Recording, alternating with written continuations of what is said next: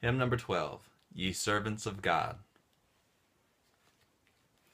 Ye servants of God, your Master proclaim and publish abroad his wonderful name, the name of victorious of Jesus extol. His kingdom is glorious, he rules over all. God ruleth on high, almighty to save, and still he is nigh, his presence we have.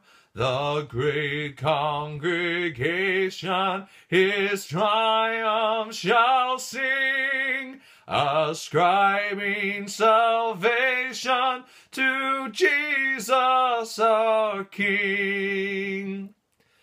Salvation to God who sits on the throne. Let all cry aloud and honor the Son. The praises of Jesus the angels proclaim. Fall down on their faces and worship the Lamb.